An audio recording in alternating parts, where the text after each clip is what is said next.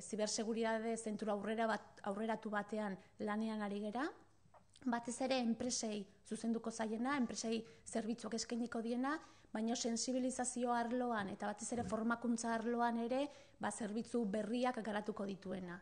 E, zibersegurtasun batez ere aurreko asteko ziberatake hauek garbi uzten dute ba, aulezi batzuk dauzkagula, aurre egin bertzaiela, eta batez ere ba, talentu aurrean, perfil profesionalen hoien aurrean ba, gabezi bat daukagula eta aurreneko pausua horre emango dugu. Martxan jarriko ditugu, lanbide ziketare eskola konkretu batekin lan, zubiri manteon hasiko gera, baina gero beste zenturetara zabalduko da, eta ziberseguritate arloan formazio espezializatu bat martxan jarriko dugu.